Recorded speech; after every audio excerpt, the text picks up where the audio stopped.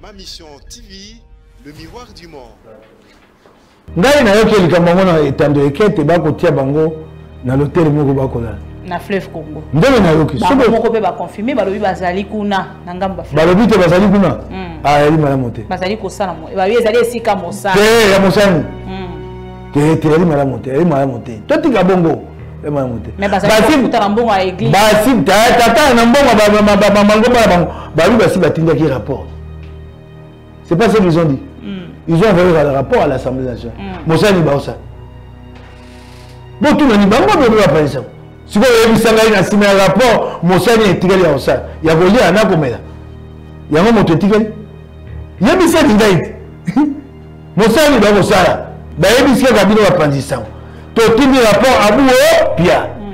nsima hmm. o te tokofanda tokosala mosala tunelani ngai bango mosala nini bokosala motuna be moko mosala nini bokosalado kamba na 5 autres eh, mosala nini bokosala bozali kosala na ngai bokofuta na mbongo na bino malamu nandimi bino hmm. kasi boyebisa bakongomani mosani bosa mpo rapport bosi botinda totika makambo ya mabe ya busoto oyo oyo ebebisaka bokonzi ya kabila hmm. totika yango obinga bokosala mosala mosala nini le rapport a tout conclu bosi botindi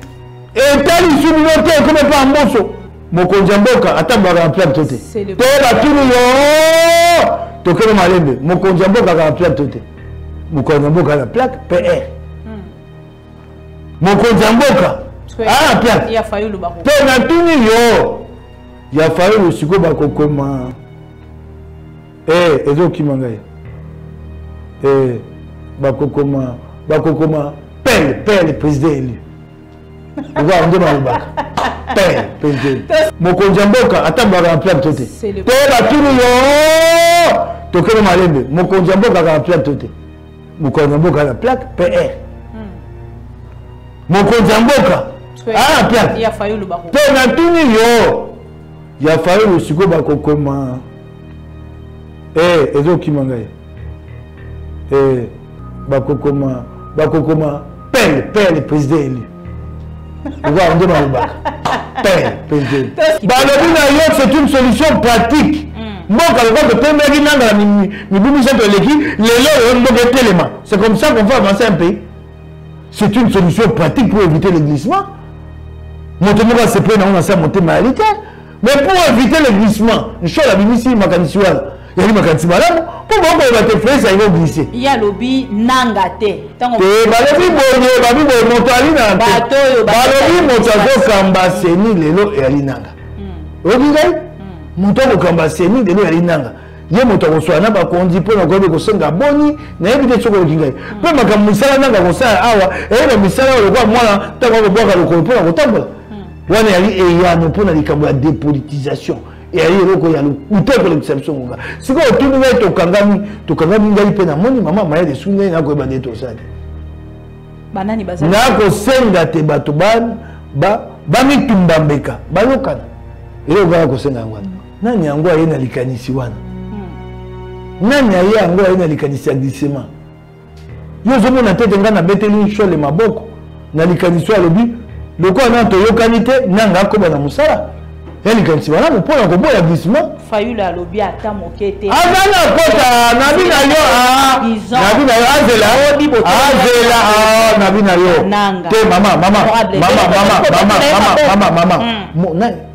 omoni yo okomi lokola makoma faulu ngai nali moko baoyo babai batika faulu batambola naye moko babai batika faulu basala mitingi na ye so ngobi yake osala mitingi na ye na atindi so ake osala mitingi na ye kuna synthèse inosake moto atindaki yo gaite inosake abi te aye na mitingi eya mitingi ya ngobila bati yango toke malembe ebongo oyo ya mbongo akongola aye kofongola bino miso na moi bato balokaka na butu yaye koloka na moi ebongo mbongo oyo ya jip ne mozwi tokomisa bino solo aye koloka na moi oyo ya jip ekobisaka soko ayangani jip ya ndenge na ye kibasa lakisa ngai bacombe te batelefone contrefait oyo oh, ya mabe oyo oh, asakangi mpo esengaka biloko ya contrefaçon soki okangi yango okotumba yango na moi mpo hmm. bao bakosala yango babanga bazonga nsima mpe bato bamona te batumbi wapi oyo asakangaki atumbi soko akozonga te yango bamobeko ekomi nini soko azongi te hmm. bango bazongi se kuna na bato na ndenge ya chenvundu te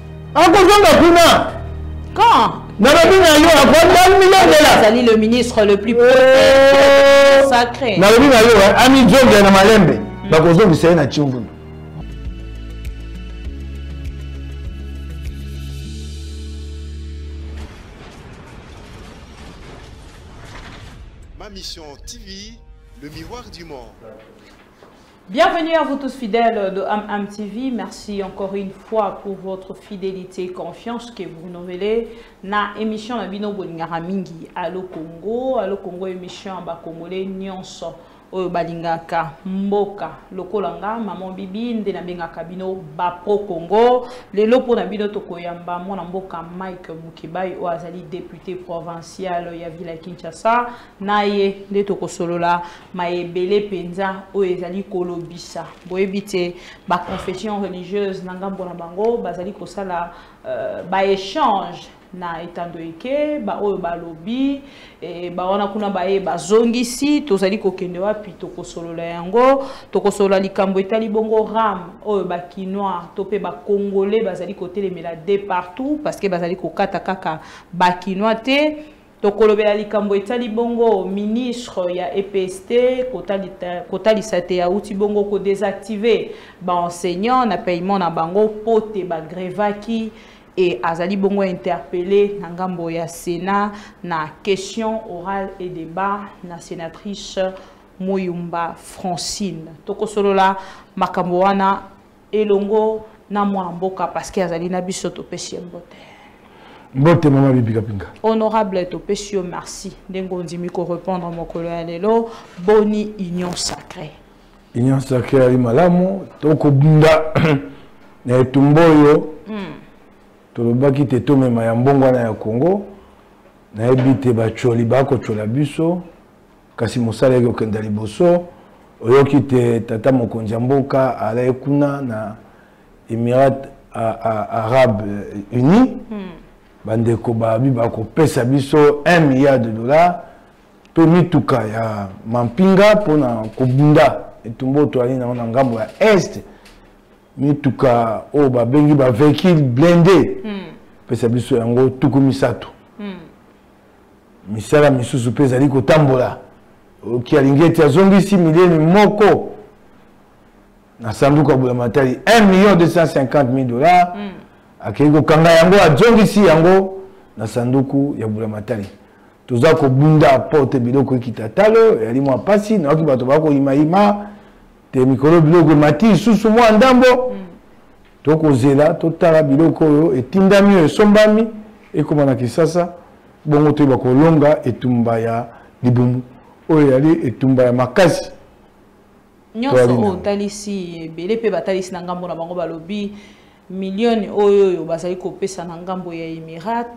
ezali bongo niongo lisusu oyo bazali kokotisa biso mm. partout esika tozali koleka tozali bongo kozwa niongo likolo ya niongo toke na egypte niongo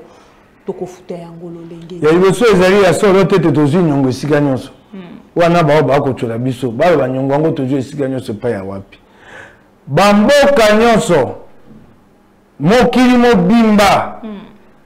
mboka moko etikali nsima na yango te mboka nyonso yaka na nyongo mm. états-unis aza na nyongo ya ba 1000 milliards ya ba milliards les états-unis doivent de l'argent à la chine baye na nyongo bachinois mboka nyonso yaka na nyongo nyongo yali ngambo te mm. nyongo ezalaka ngambo te mpo na mboka niongo eyali tokoyeba eyali malamu mpo bozwa mbongo ya ebele mbala moko hmm. eloko yali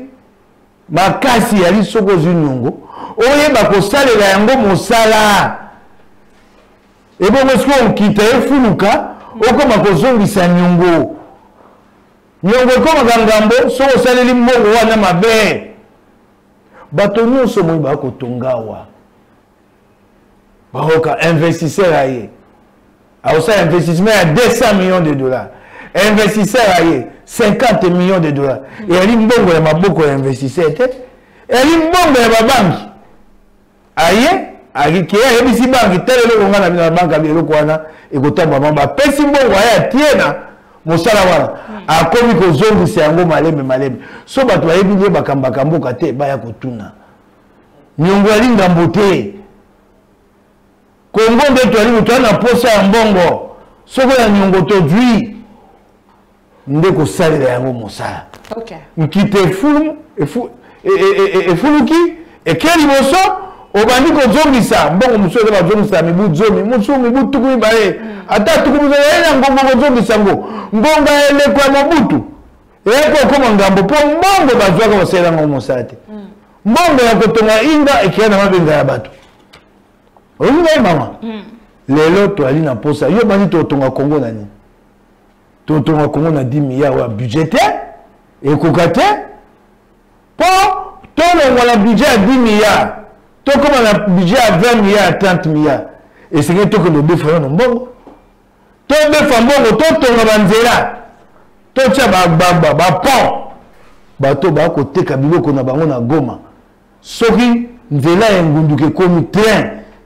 yo omoni biloko ya goma ndenge koyawa bobo ekokita talo hmm. mbongo ekotambola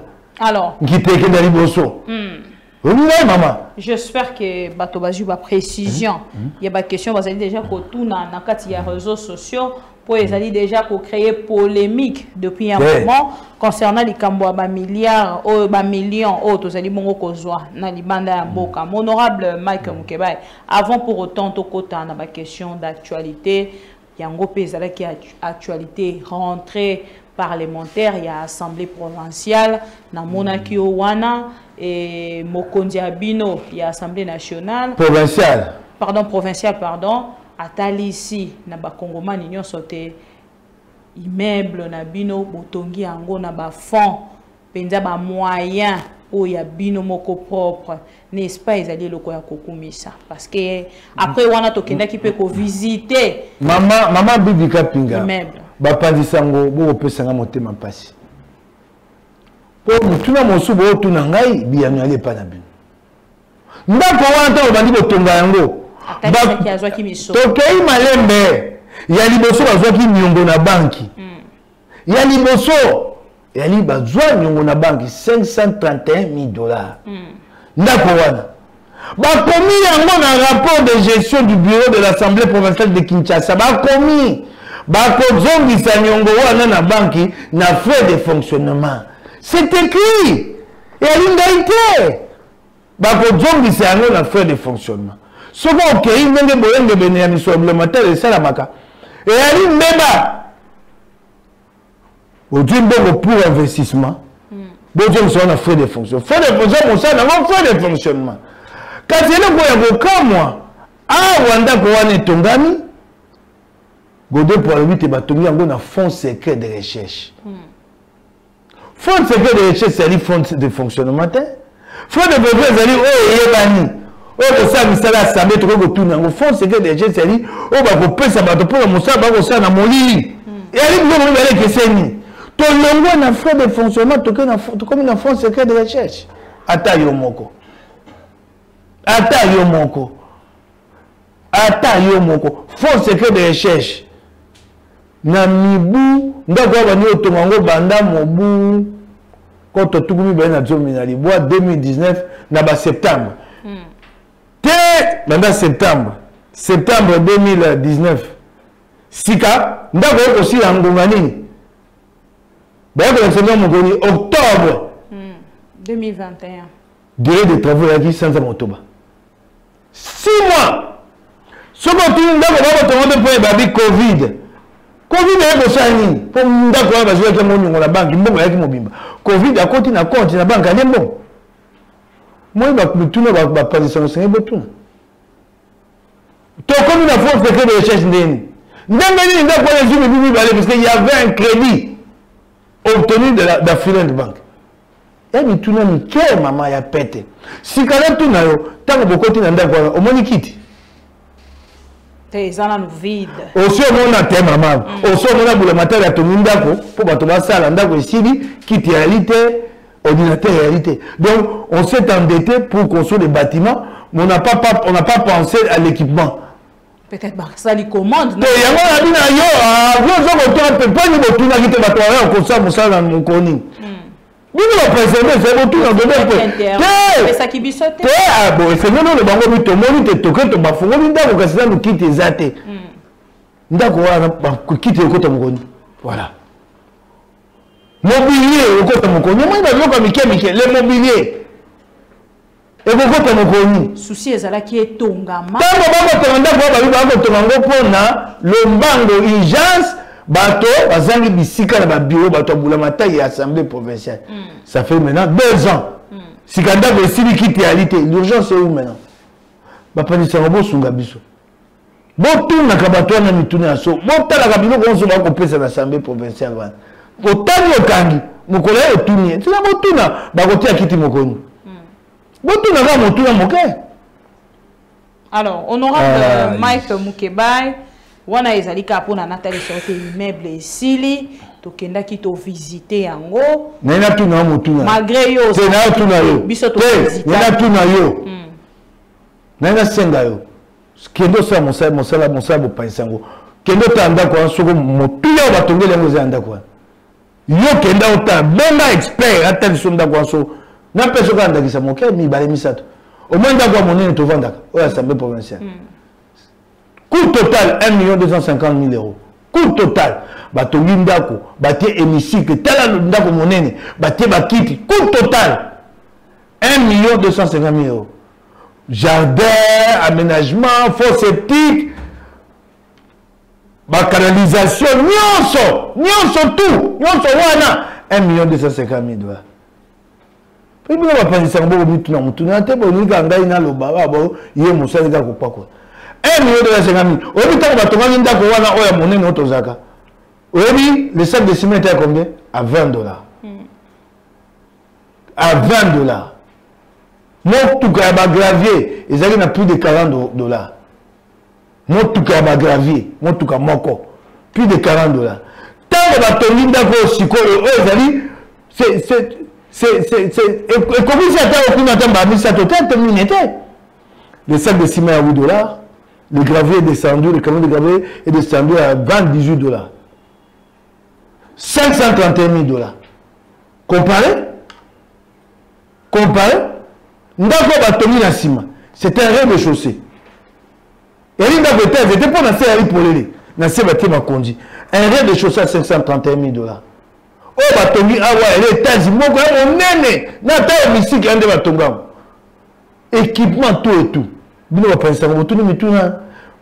bapanisi yango soki okei oyo balobi na bino nini boye koloba soki botuna mituna wana compare les deux bâtiments on a demandé l'interview te soki aboyi kopesa bino interview faites votre travail hmm. makambo nga na zoba nakopesa bino yango napesi bino nkasa vous allez vérifier ça hmm. bosala mosala mopanisa mosala na ye tayeba kaka oyo moto alobi toyoki boluki na ndenge na bino napesi yo sika mm. eh,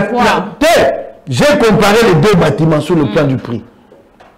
nabi na yo oyebi ya ndeko kokosa yali malamu te ata okosi lelo lobi solo ekobima moto akokamba sambe professeur ya lobi ekozala gode mpoye te akobimisa makambo oyo bakobomba lelo mm. eya na ntina te kokosa koma na te kokosa bato mpe kokosa bato ngonga nyonso tu peux pas tompe les gens tout le temps ekosuka moko mosusu napesi yo kaka kotalisa yo hmm. les deux bâtiments les deux bâtiments ndako ya sika ekozala mètre carré boni oyo ya nsima eh. na baescalier kaka nde namoni eh? mwa kokoso ezali mais ebongo eh, oyo ya monene eza boni hmm. voilà honorable mike euh, mukebai bazali koreproche union sacrée na dictature nini okoki koloba mpo bazali kotalisa bozali ko s'imposer euh, likolo ya bayi opposant ndeko martin fayulu azalaki na marge batalisi te zone rouge azali na meeting ndeko ngobila botindi ye ye mpe akende kosala meeting face au kinois nini okoki koloba mama opposant mosala na ye nde kotyola soki olandi opposant omwa lokola te congo ekokufa yopi mosala na ye yango akotyola atongaka bokonzi na ye na kotyola kolandaka ye te mosala ya opposant kotyola mpo atonga bokonzi nde ya lobi soki olingi oyeba makambo ndenge kotambola yo moko fungola miso soki okoki kotala makambo ya kongo na luneti ya faden house okomona eloko te luneti ya faden house elakisaka kaka oyo eza na makanisi ya fayulu faut pas voir le congo à travers les lunettes de fayulu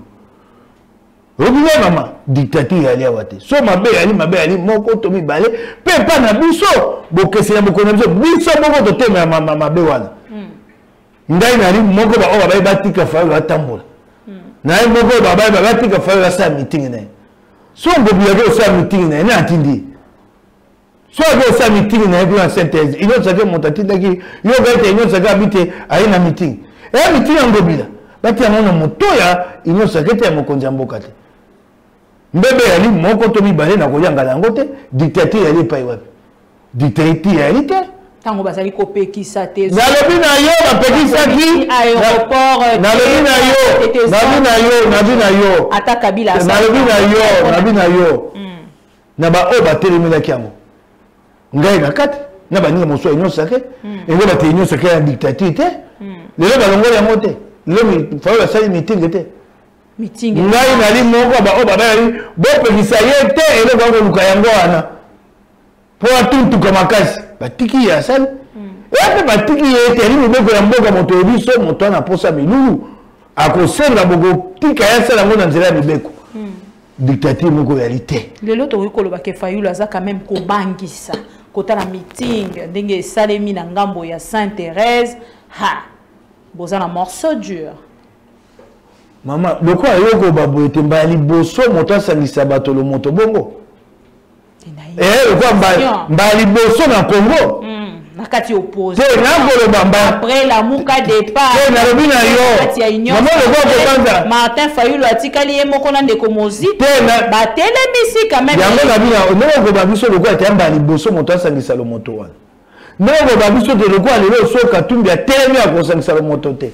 so oye na kisasa lomoto yaya te so ya na lubumbashi kwa lomoto yaya te ndenge oloba lelo te lokola so felix atelemi lomoto yaya te mama moto ya moto wana bato na ye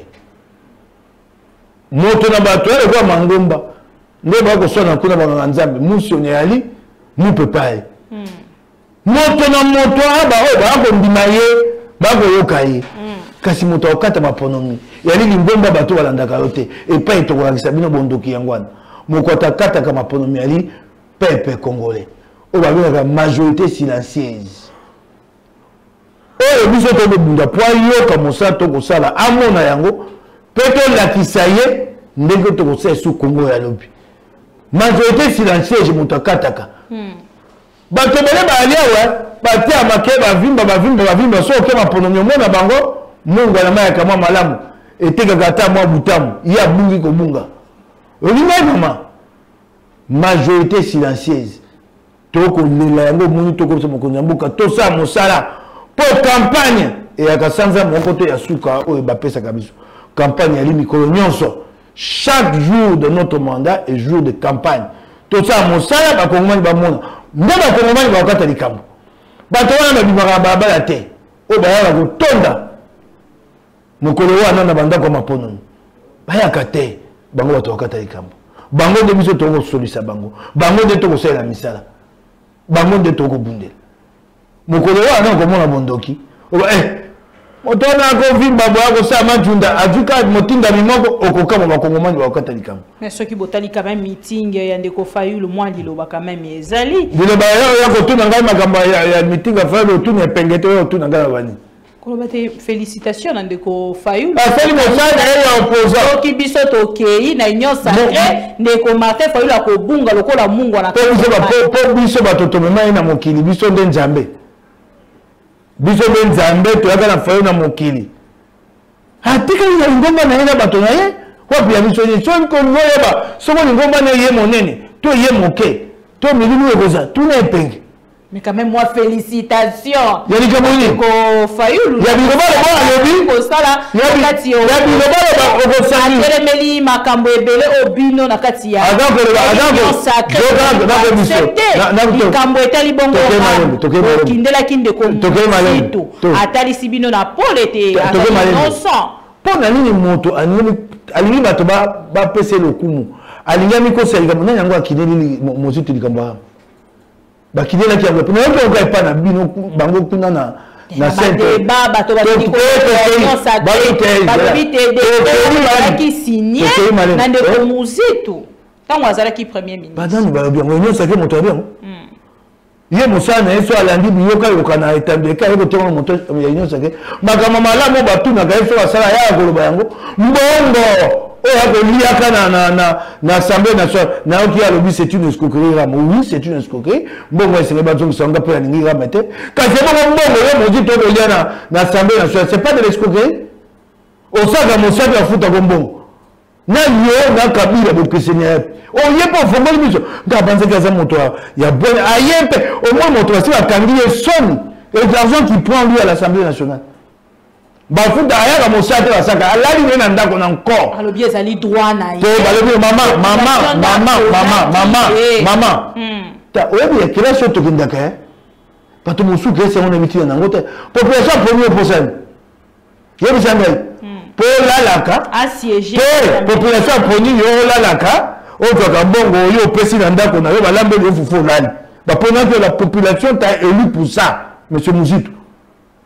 mpola ya repa na yo mm. mbongo wana yali mbongo bakofuta mpo na mosala to mpo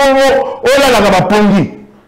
olamuki otema ko na mesa epuis oyo koloba yango tu te j'aime pas monsieur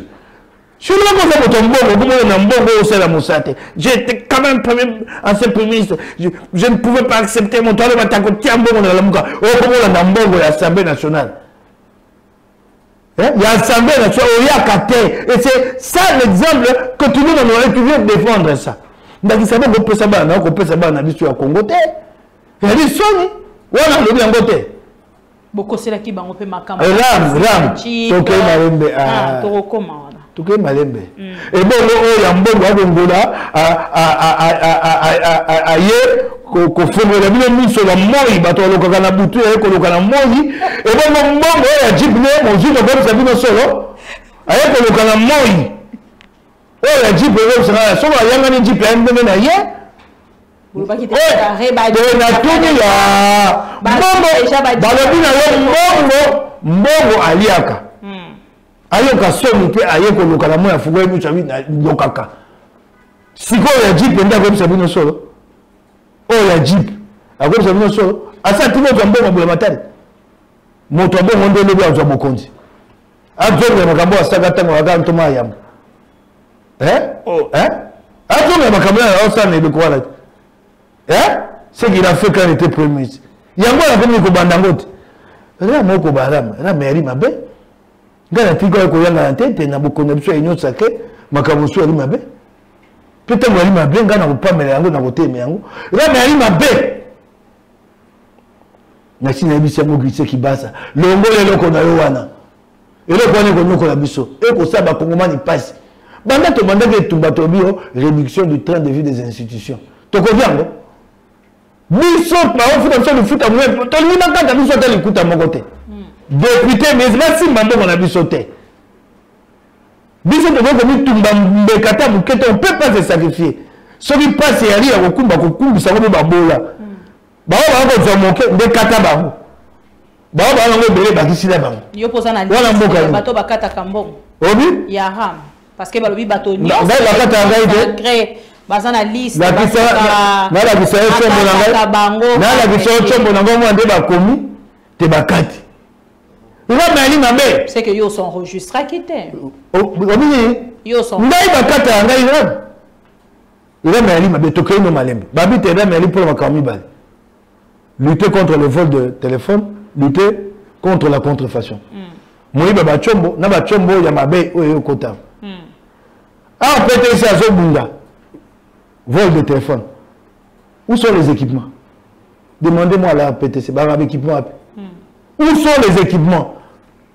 mpo balobi na biso na bakompani vodacom ya tete so combo ne ebungi opesi nimero ine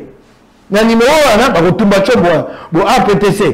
vodacom na etel basi balakisi biso ndenge ya kokanga bacombo oyo oh, so bayibi yo yo sikoyo osala yango wapi Où sont les équipements de la PTC C'est où C'est un travail technique qui demande des équipements. Et allez wapi L'hôpital, Bosso. L'hôpital, Amibare. Vous dites eh,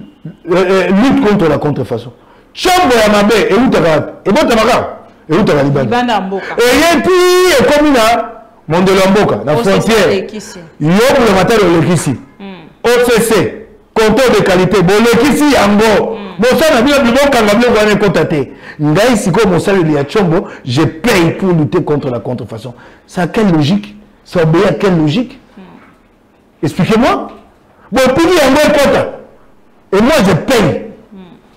nandimi kasi sikoyo nafuti mbongo kibasa lakisa ngai bacombe te batelefone contrefait oyo ya mabe oyo asakangi mpo efengaka biloko ya contrefaçon soki okangi yango okotumba yango na moi mpo hmm. bao bakosala yango babanga bazonga nsima mpe bato ya mwana te batumbi wapi asakangaki atumbi ezali malamu te mokoya na sobe mwana nga unité 4000 fois bradley mwana nga akoki na ndaka mababi papa ama tout prix tout à tout prix non mes unités rame ah kibasa pourquoi bana bopwani kibasa napesi yo toli hmm. mwana wana ya 11 a mwana ngai asaka te okoki kofutisa ye mpako te koyoka soni te zoba mpako nyonso ya bana na ngai mibale tyaka na moto ya tata na ngai ngai tata na bango mpo ngai monalise bango te oyoka sikoyo soni mponi mpo tya na moto mais sur ma tete okoki babira na ali 7 dollar otie 7 dollar ya mike mokebali tata ya madame madame asalaka te otie 7 mm. dollar mm. otie 7 dollar ya megan mm. otie 5 dollars ya bradelo mokeba tiela ngai 28 dollars na moto na ngai koyoka soni te hmm. tia bato bamona bayeba te ngai moko na kofuta 28 dollars tokoli baye na mwambe ya dola alors nini na ngambo na bino esali te hmm? tomona bose mobilize te mpo na kotelema ntango mosusu sitin ndenge bosalaki lobi to lobi kuna na liboso ya baministre to mpe baministère ya baministre oyo bazali kokamba malamu te Parce que azali moko ya UDPS to mpo azali moko ya Union biso toyali na lingomba oyo kokamba tokoki kosala esu misala te ya kotelema bongo hmm. oyo nde tokoba boye oyo nde babengisi ye na assemblée nationale yango wana mpo na kozongisa ye na nzela akolia mama aligner mama nalobi na yo yango nalobi na yo akoya amata akita likolo akoya likambo wana esi epeli moto eloko na kosenga tozala lokola bokonzi ya kabila te osali mabe bato bazomeli yo obi bokei na ngai wapi te so mabe esi ebimi botoyambola tosenga bolimbisi eloko wana ekonyoka bakongomani bana eloko te hmm. koto kozwa bango esu moke bongo biso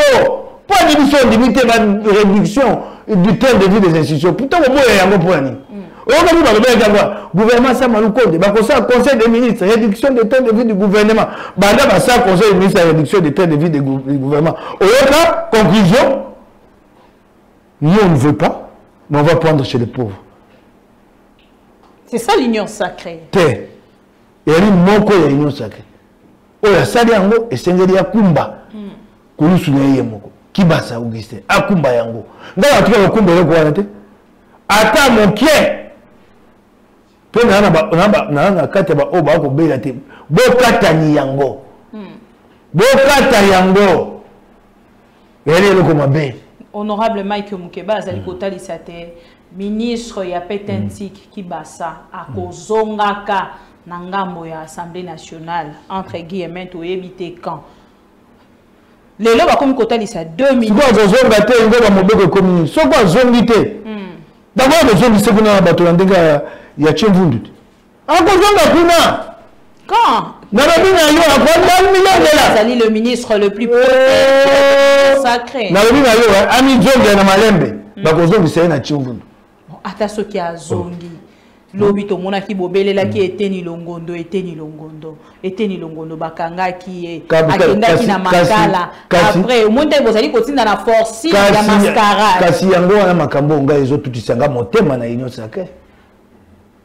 sika bato ya koba biso te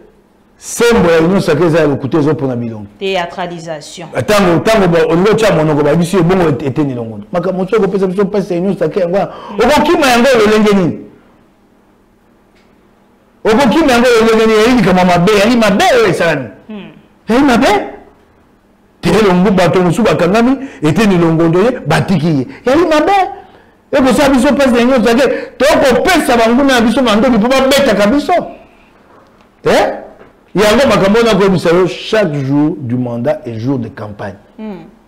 mokolo nyonso bato bakoseka na likambo oyo ya rame eh? soko tobongisi yango te ekofiakola biso na campagne bakobola biso miyibi ya nane miyibi ya nane nayebi ti yo ngai nabi na yo na moi je vis dans le, euh, euh, la population hein. mm. nakomona nde bato bakola esika oso nakoleka okama to abenga mokebai rame na bino erabe nakoma ngambo nabi na yo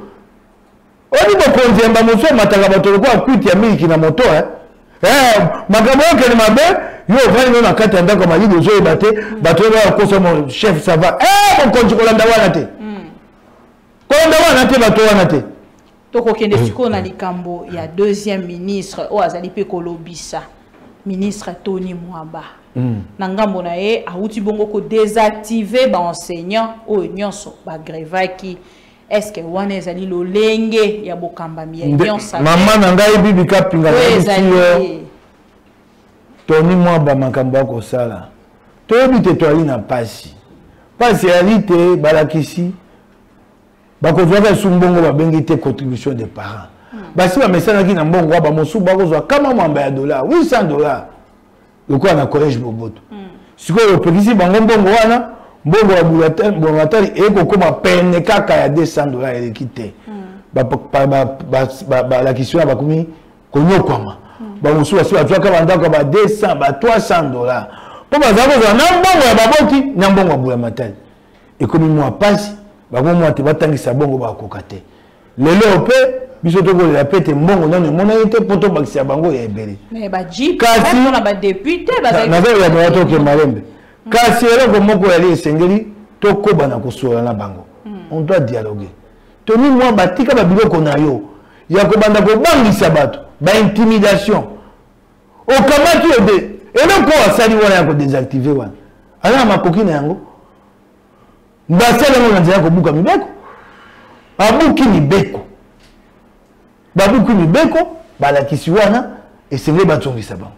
mpe ozali kokotisa balakisi na kelasi na nko akoti mpo abangi yo akoti nsima avandi na kati atangisi te lifuta nini litomba nini natuna yo tokenda liboso tokita na se na moi lokola biso bakonzi ya mboka na biso mbala mosusu mpe biso union sacré totalaka qualité ya enseignement te nous ne nous préoccupons pas de la qualité d'enseignement esengeli molakisi akota kelasi kasi azala na mposa ya kotangisa mpo nanga nayebisa yo te biso moko toyebi te la qualité de l'enseignement est très mauvaise eloko nakoba etali mpe ngai qui d'entre nous député ministre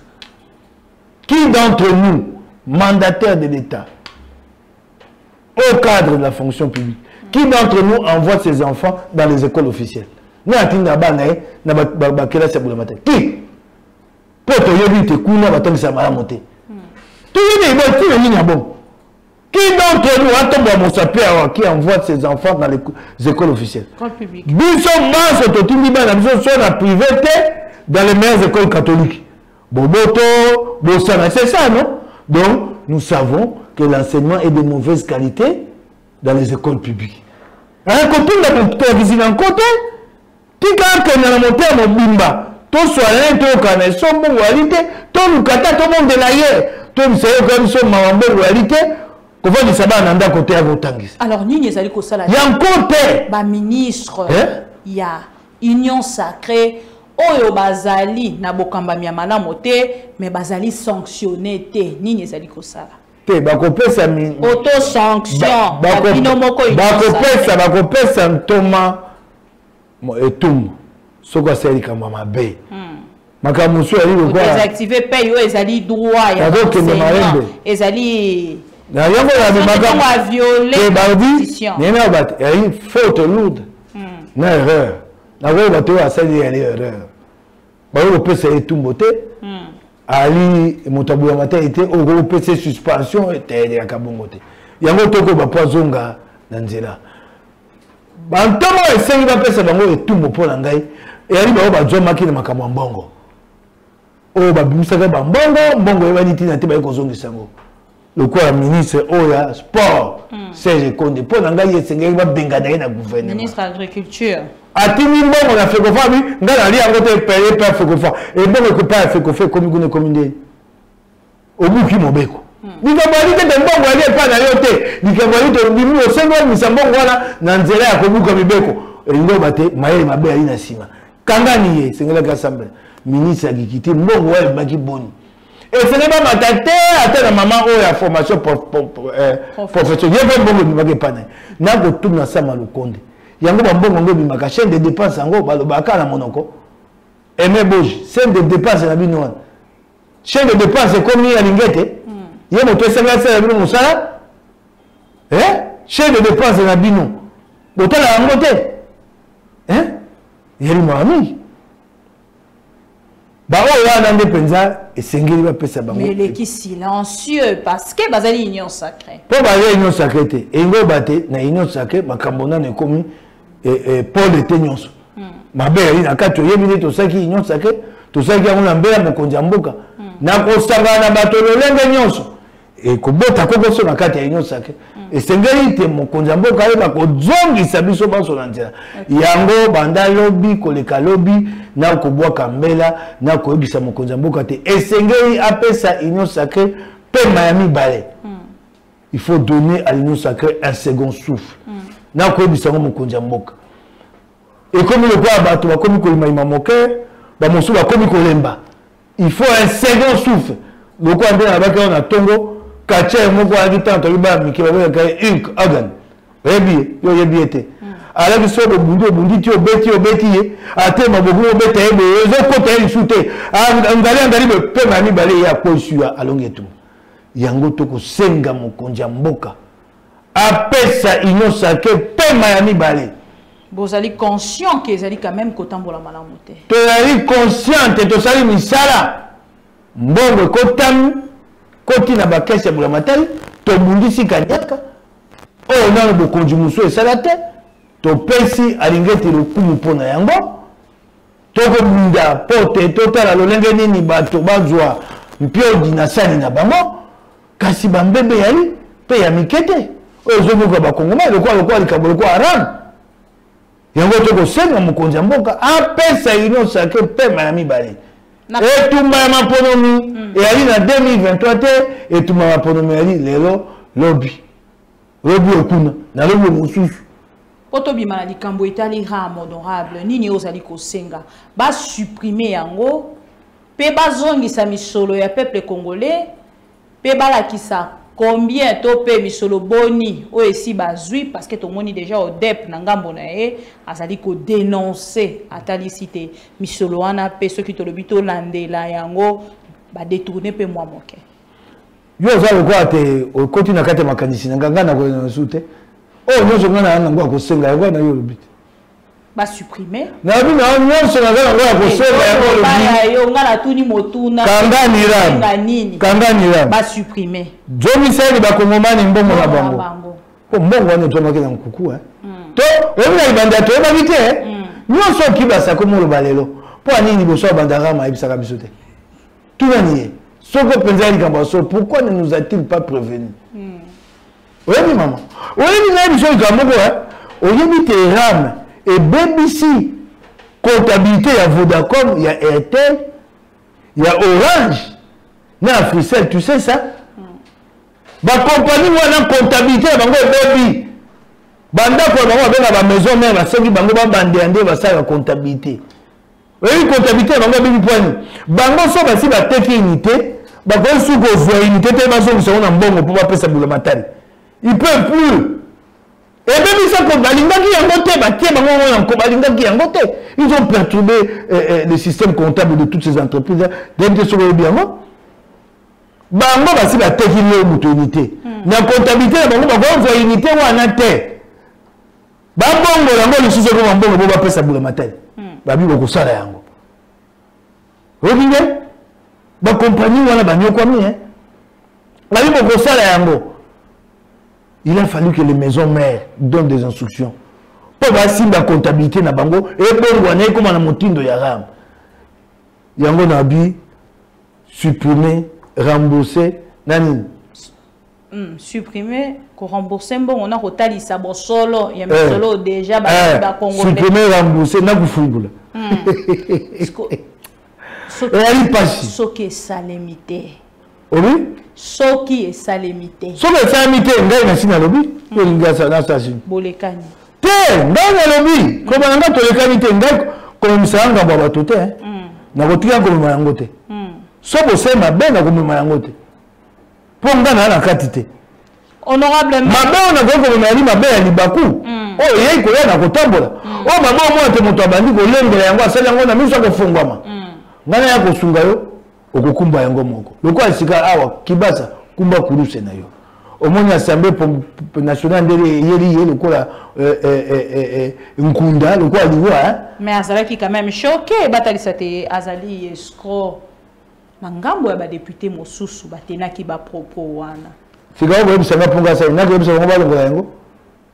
oyo koyebisa nga mpunga akende olela kuna epai alelaki ayakozaki honorable mike mukebai lelo na likambo etali baconfession religieuse tozali bloqué totelemi esika moko tozali koavance te na ngambo na yo reflexion eza nini mpo te toavance te mayele esuki ngai na ngambo bazali koloba mayele esuki ngai sisi koto mama mayele esuki ngai hmm. kasi liboso na yana na motuna na yo eloko naye komona naye kotala te opposition mosala bango bilobaloba baa na ngonga ya kotia mayele na mesa te yango na biso kolanda bango te mpo kotonga mboka mm. eyali mayele eloko oyo bato opposition baya kosengaka depolitisation omoni te ete esuki emoni ete ya eloko ya lokuta seni eyali na mibonga soko mitano so motoba so sambo 7 poste 6 bureau poste ya monene koleka nyonso na seni yali nini président ya seni poste monene poste wana yo na ngai oyebi te te yali dépolitise eyi dépolitise te bapesi yango banganga nzambe hmm. c'est pas ça hmm. c'est un poste qui a été confié à la société civile bayokani yebisa ngai lokuta na bino ya dépolitisation bokolekisa biso ngonga pamba pamba le poste le plus important est dépolitisé c'est le poste qui bloque c'est le poste qui bloque bongo sikoyo soki otie baposte nyonso opesi yango société civile yebisa ngai kozala ndenge nini yebisa ngai société civile yango ekowuta wapi awa tolukaki société civile oyo ali na pete mpo na kozwa les confessions religieuses tozwi misioni mu mpe kintu ali tobakisi bamosusu bakoyokana te sika so olobi lokola boye vice président ya seni topesi yango ong de droit de l'homme ba ong de droit de l'homme bakoya boni okata likambo yango ndeni poste ya rapporteur topesi yango eh, nani oyo mouvement citoyen filinde ekoya kama lucha kama mibale echa tuku misato okosuka nango wapi la représentativité tu vas la régler comment makambo oyo tokomona eloko elakisaki likambo ya déposition ya likambo ya lokuta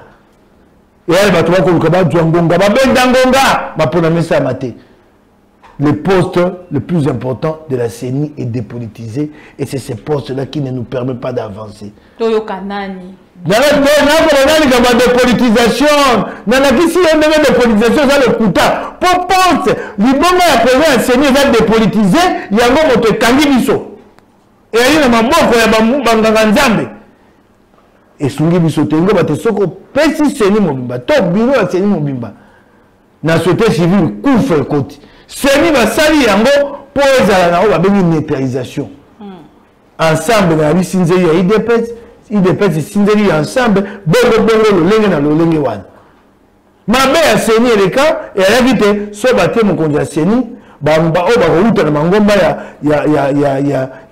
baparti politiki mingimingi ya opposition bakomi na bango bato ya kabila hmm. lokola seni euti olekawa nanga moto akokamba seni batindi moto ya idps moko ayebi na kati kalaba akomi na ye moto ya kabila moto ya nanga batindi moto ya inc moko ayebi na kati gustave omba akoma na ye moto ya kabila moto ya nanga mabe eyalaki nde yango wana soko botindi bato ya bwanya baye mpo na kobunda mpo na solo mokonzi ya seni aya na mingi akosala te akomeka te ate mpo bawana banso bakotala bakoba ekoleka awa te wana eyali eyano mpo na likambo ya depolitisation eyali eloko ya lokuta ekolekisa biso ngonga sikoyo otuni ngai tokangami tokangami ngai mpe namoni mama mayele esui ngai nakoyeba nde tosala te nakosenga te bato bamitumba mbeka bayokana eloko kaka kosenga yango wana entre bino na bandeko ya baconfession religieuse banani bazali kotambola mpenza na likanisi ya glissement to mpe dialogue nani yango aye na likanisi wana hmm. nani aye yango aye na likanisi ya glissement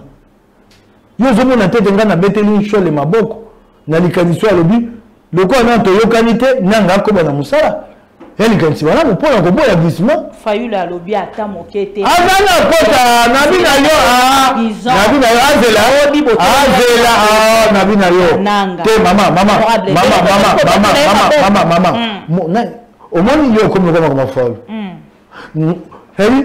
yo moko osali likambo kosala olatisi yango moto okomi obundisa moto fayolo aye il crée lui-même le fantasme de glissement hmm. alatisi yango félix alakomi otuta félix mandoko glissement to félix aglisse pas yo moko osali likambo na ndoto oyo olatisi ngai oyo likambo ya kobundisa ngai na ko ata na boyi kobundisa yo hmm. sikoyo olobi na ngai nabeti maboko qui a applaudi pour que nanga poursuit. Personne n'a applaudi. Balobi na yo, c'est une solution pratique. Hmm. mboka lokola totemaki nanga mibu misato eleki lelo oyo mboka etelema c'est comme ça qu'on fait avancer un pays c'est une solution pratique pour éviter le glissement moto moko asepeli nango na se ya motema ya lite mais pour éviter le glissement nshol abimisi makanisi wana yali makanisi malamu mpo bakoyeba te fraise yango glise ye alobi nanga te balobi boye babi boye moto ali na balobi moto azokamba seni lelo eyali nanga hmm. oyebi ngai hmm. moto akokamba seni lelo eyali nanga ye moto akoswala na bakonzi mpo na koyebi kosenga boni nayebi te soki oyoki ngai mpe hmm. makambo misala nanga akosala awa eyeba misala oyo lokola mwana ntango akobwaka lokolo mpo na kotambola hmm. akende osimba mama ya likambo maponomi te hmm. c'est une solution d'ordre pratique toyala bato bayebi te ntango likambo yali eyano yali wapi ah totemeli yo nanga wi nga natemeli nanga nanga moto ya solo te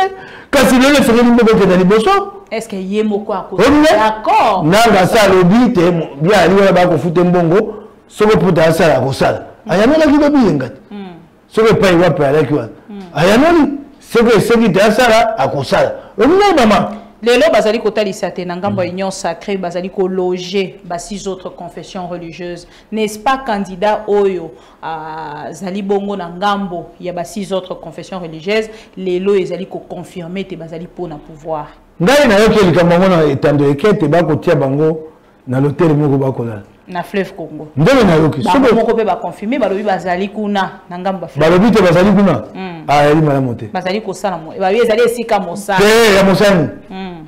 te te yali malamu te yali malamu te totika bongo tata na mbongo bamangomba na bango babi basi batindaki rapport c'est pas ce qu'ils ont dit mm. ils ont envoyé le rapport à l'assemblée nationale mm. mosali baosa botunani bango bobi bapangisango ils ont déjà envoyé le rapport mpe mm. balobi bakosimba efe eloko te bango mpo na bango denis kadimi sika mosala nini baosa lisusu ah, bapanzisa yango yango naye bapanzisa yango bokosunga biso te bango bayi tosi topindi rapport mm. sikoyo oyebisa ngai na nsima ya rapport mosala nini etikali ya kosala ya kolia na komela yango moto etikali yebisani ngai te mosala nini bakosala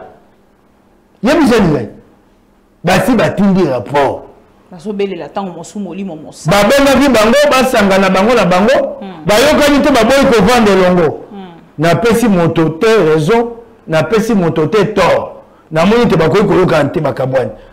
ntango bayokaki bakabwani basali rapport babi totindi yango bayebisi kaka yo bibi kapinga hmm. bayebisi kaka bino bapanzi sango totindi rapport abuo pia nsima o te tokovanda tokosala mosala tumela mingai bango mosala nini bokosala motuna be moko mosala nini bokosala dodo kamba na 5 autres eh, mosala nini bokosala bozali kosala na ngai bolobi bokofuta na mbongo na bino malamu nandimi bino hmm. kasi boyebisa bakongomani mosala nini bokosala mpo rapport bosi botinda totika makambo ya mabe ya busotoyo oyo ebebisaka bokonzi ya kabila hmm. totika yango obinde bokosala mosala mosala nini le rapport a tout conclu bosi botindi etali lisu bino te ekoma mpa mboso boyebi te bosa mpe bayanoli mpe bino bongo bino bapanzisaka mpe bolobi te batika bino bakosala mosala eh, basani ya point de presse te basani na émission ya ndeko euh, israel mutombo nde esika barépondre na question wana tobali nini te bazali na fleuve congo bazali kocontinue kosala mosala yango natuni yo sikoyo hmm. na banda bango bakolanda ngai mosala nini bokosala bakongomani bayeba mpo hmm. rapport botinda non arrêtons ça botinda topesa raison na ndeko boye te nabi na yo naboyi nanga makambo ya kokota raison na to hmm. naboyi nde makambo oyo ya kolakisa biso elobisa lokumu na biso union sacre mais soki bofuteli bango mpo makambo mosusu bato nabi na makambo mosusu bato bakosala hmm. ngai nayebi yango te premier ministre ayebi yango te mokonzi ya mboka ayebi yango te ekolata biso na nzoto lokola namoni bataxi ya bareseau sociaux tata moko na motuka ya bulamatari ya présidence oh, aolakisa ah, motoko neti tata wana nani atindi ye hmm. nani atindi oyoki te bango mosusu ezali lokola bango bakei na bango bakamaka bonganga nzambe bakei kopina nsona ya kolesa bango na misolo soko ya bango so bulamatari eya kolata biso n'est-ce pas oyo nyonso nde bazali kooma makambo mosusu toamaterisme na sommet ya leta mpe nayebisi kasongo na tui na kasongo kasongo ngai nayebi yo bokonzi yo ya pulutu okosala mosana oyebi palisade ezanga mpe ake etambola te hmm. ovimbi tolo eh? ovimbi tolo mpenza palisade etambola te palisade ekanga yango kasongo natuna mituka oyo etambolaka batia plaque bache ça signifie quoi motuka ya bulamatari bakamati bakangi kitendi ya mingi elingi oloba nini ye na palissade ezanga plaque de keseni ya liope ntango hmm. atie sikoyo kitendi ya mwindu abashe c'est pour nous dire quoi wana okenda kusa nini wana na ngonga aza komotala nzambe kosimba ye te hmm. il a rendez-vous avec dieu hein? c'est quoi mituka ya bakonzi banso awa bulamatali bulamatali atieli yo plainte hmm. yo okawaki okosomba kiteni ya mwindu mpo obangisa biso mpo bayeba te na fayulu mpo asalaka yango awa ozoloba le changement fayulu bakisa plainte il est de quel changement le plaque de la, la plaque minéralogique de, de, de, de, de, de la langue qu'ils ont de, de, de fayulu est bâchée c'est quel changement là akende kosa bakongomani na saint thérèse la voiture de fayulu Plaque bâchée.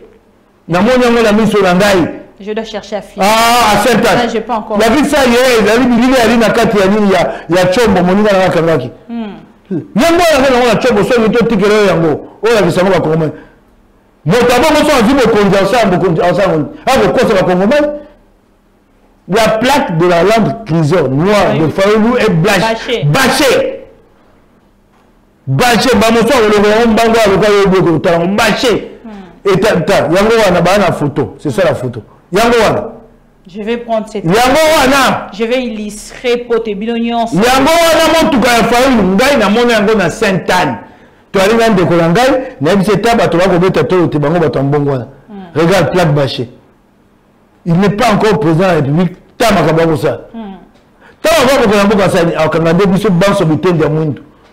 kangi biso banso ye akomona kaka ye moko nde akosala oyoki ngai lokuta omoni yango alala biso ondakisa moko te bato bakoki kobelela kuna na bana ntango te bakoluka mbongo wana tala eloko akosala eloko oyo ngai natelemelaka eloko oyo nyonso ake tokotelema ya baplaque bache fayolo atambolaka nango baplaque sans matricule oyoka ngai hmm. nabeleli yoka songo eyaka ate okanela bapalissade hmm. yo omonaki kaka badepute nationaux kanga mpe bapla de bachete banda na oyo ya fayolo omoni ye wi omoni oyebisi ye monsieur bongo ya yoko c'est un président élu mokonzi ya mboka atambolaka na plate to te to batuni yo tokende malembe mokonzi ya mboka akaka plate to te mokonzi ya mboka na plaque pr hmm. mokonzi ya mboka ah, mpe natuni yo ya fayulu sikoyo bakokoma eh, ezokima ngai eh, bakokoma bakokoma pele pele président élu oza yango nalobaka pere peze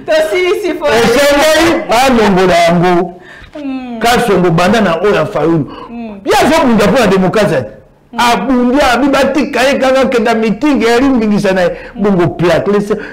oyebi ya babaka boye yokanga mama ye nakosukisa dans les petites choses les gens se montrent tels qu'ils sont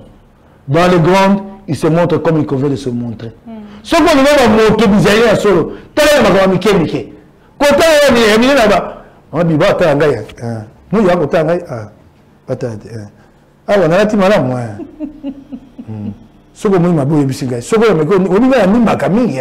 so nanimbi tuta ngai nayebisaki nanimbaka mingi mpo kamera eyali ntango kamera eyali te nde omoni moto sikoyo akomi omikwanza abendi sili hmm. twi yango wana sili ye amikwanza abendi plaque wana mpo ya fayulu owumeli mpenza mpo ah! hmm. ntango ye akendaki kuna mokolo wana awumelaki te asali bino mpasi tokolakisa nde moto ti ndenge ayali ti hmm. tokolakisa bino yesu ko boyeba ete hmm. nayebisi bino na makambo ya mike mike nde bayebaka moto na minene te atalisi bino makambo ebele mpenza te nabi na yo nalakisimbaki mpe etanalobi na yo kata yango tout de suite likambo etat de nalakisi yo nakoyanola yo na bino peple ya ngambo wana azali konyokwama tala omoni moto okofa so botie na bokonzi nayebisi yo hmm. akotatama na akoyeba eloko te azalaki na assemblée provinciale ya tata bani ati atika kosala eloko kuna te so onayebi biso makambo asala kuna ya mawa eh? oyo asala kuna asalaka makambo wana bato ya ppd na kimbuta mama lese so lelo etumba ekoti na mboka awa okoki te banguna bakoti mokonzi ya mboka osani akoya abi tokoti na etumba sika tokomi na état de siège nous avons décrété l'état de siège en, en, en réponse à une situation de guerre mm. donc vous êtes dans une province qui est en guerre bolingi te bato baye batambola na ndenge ya bitumba l'état de siège répond à une guerre permanente permanente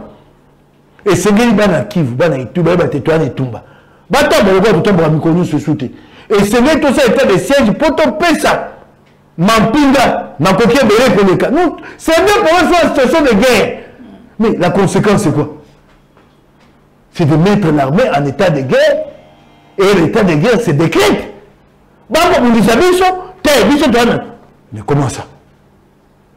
L'état de siège répond à une situation de guerre et nous sommes en guerre. Nous sommes en guerre face à, aux ADF. lelo adf bakomi makasi koleka liboso bake kosala babengaka allégeance na lokota li français na desh état islamique état ya islamique aza kosunga bango toya etumba te une province qui est en état de guerre bino bolingi bata kivu bavanda na bata ya pas de guerre ici etikili kotia etat de siège mpo mboka wana ekoki kotomba na ndenge ya mboka kimia te ituri na noki bokotomba lokola kisasa te bino baa na etumba babundisaka bango bakobundisa kongo bakobundisa biso na baadef oyebi ngai yango wana esengelami kotia état de siège c'est une réponse à une situation de guerre sikoyo balobi te wana nakoya sir abi yoka biloba baopposant Abira, euh, l'état de guerre favorise le pillage des minéraux et, et des ressources. alakisa biso epai etat de guerre esa ete lelo oyo bayibi su mabanga koleka liboso alakisa biso mpe nani ayibi yango bilobaloba yango wana ntango kopesa bokoloba badi otata bana koyeba te makambo yoko bezanga nzela ayebisa biso en 1900 en 2000 mabanga ezali kobunga tuku mibale banda etat de siège eye ekomi obunga kama mitano ayakisa biso yango yali wapi kaka biloko kolobalobalobaloba ya pampamba pesa ye bokonzi atatabana nango ndenge atatabanaki nango na assemblée provinciale awa te ye moko akimi yango eh? topesi bango quand même lokumu kotala mituka ya palissade ndenge nini bango baboyi yango mpenza quelque soit le prix ya palissade ba depute na bango nyonso batelemaki balobi biso palissade nalobi na yo boye ngai nalobi na yo boye ngai palisade natuni batindami te hmm. natuni badepute national te natuni fayulu na mozito bango mibale bazwaki ngai nalobi na yo ngai natuni badosi ndombasi te natuni fayulu na mozito bango mibale nga natuni adosi ndombasi te hmm. bango angani bakokufa pamba natuni mozito na fayulu tunani bango ozwi to ozwi te balobi bazwi te nalobi oyo otunaki bango totuni na kuna na meeting bolobi nanga batindami na bango bate lukani ye mpe yali pete mpo na koyeba te kende ani kuna epai ya mboso abimisa yo lokasa ndenge moto na moto ati motuka na ye te ntango mozito azali kozwa mbongo na nkuku ayebisaka yo ntango bakangi ye moyibi nde ayo koloka na moi taya ofongoli miso omoni elongo eko asango nzoka motema likundu na bakongomani oliaka mbongo ya bato osalaka te merci beaucoup honorable mike mukebai tosilisi mpo na lelo hmm? topesi yo merci ndenge ondimaki korepondre honorable lelo olati swag eh? Ah, yo mpe ah, eh, oh, te ah, bokonzi nini oyo ali poso eloko ya motu ali kati ya motema oyo ali na kati temamamamamama nde nabi banda kala eh, mama bandaka tete tete hmm. mba mosusu mpo oyo omona yanga poso te tete poso naka naka na relax hmm. banda nga banda kala hmm. eh? Eh, nasalaka eh, mwa masano na nganasalaka mwa masano na nga mpo ebatela eh, nga bolenge mm. eyali bokonzi te moto okoya kobatela nga bolenge mm. naliaka biloko oyo babengaka biloko ya pamba mpo ete ebatela nga nzoto naliaka ya na likambo mona union sacrete kaka na lifuta na ngai nakoki kosomba yango e union sacrete ya lifuta oyo bapesa ya ngai naliaka bemoteke matamba mbinzo eh? te faci beya mpo na boye te faci beye eri mpo na bolama bakongomani mpo hmm. to bato bakezingazinga na ye te mama nga nayebi bokonzi wana te wana nga nayebi yango te wana ya na kati ya moto na ngai te hmm. ngai so oyebi faci beye yali mpo te beye wana ebimisi eloko na sani ya moto okay. bwelo wana ebimisi tonga bapesi moto kisi hmm. oyoki ngai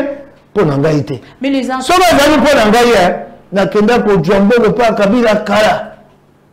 honorable j'aimerais oyebi bato bayeba nga te ata yoka na biso lelo nakoloba yango nayoki bilenge moko na bamoni ata mbongo na bomoi na bango te baza ata na bozito na nga te mpo moto azwa ye hmm. bakoba ya aka moto ya lokoso moi j'ai eu un contrat avec la dgi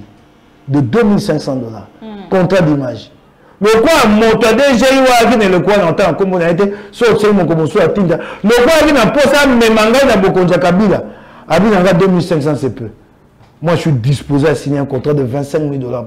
par mois merci beaucoup merci beaucoup kasi koma kaka na mokonda oyo oyo te lelo oyo nakobanda nga bipesa ngai 2500 oyo ya ngai oyo nga nayeli awa un contrat pendant des années ya de 25 000 dollars nayebi yango lelo merci beaucoup honorable mike mukebai merci na bandeko nyonso bolandi biso topesi bino merci parce que bozalaki wana du début à la fin mpona kolanda biso à travers cette euh, belle émission oyo bolingaka mingi tokutani mbala ya nsima mpona bainformation mosusu entre temps bose porte bien bocontinue kopartage baémission na biso mpe kolike 149 000 abonnés grâce à vous soki lobi tokomi mpe 200 000 eza kaka ngolu mpe fidelité na bino nde ekosala yango merci ya volding ituka merci ya vico merci ya bemes merci na bandeko nyonso oyo basanganaki mpo te émission oyo ekomela bino na mabota na bino tokutani mbala nsima